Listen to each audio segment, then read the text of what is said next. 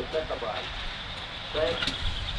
Racing out, and uh, one of the best out, Campbell Yap Yap, but our Campbell boy's going to swoop up and go to the lead on Campbell down, they go to the back, Campbell Yap Yap being tackled by our Campbell boy, and then the third is Sweet Campbell, run out the back and run off the tractor, our Campbell boy better race up to take the lead, Sweet Campbell's going to be a big danger, driving up, and Campbell Yap Yap back on the fence in the straighter, and our Campbell boy in front, start to cut it down, is Sweet Campbell, Sweet Campbell, pull it away,